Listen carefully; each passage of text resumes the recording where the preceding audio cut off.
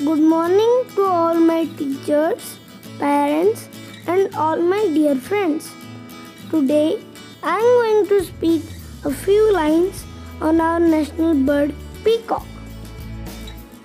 Peacock is the national bird of India. It has variant colors that makes it different from other birds. It has a long neck and a crest on its head. Peacocks have very bright tails which are very beautiful. The feathers of the peacock are violet and have eye-like shape. It is found in various colors.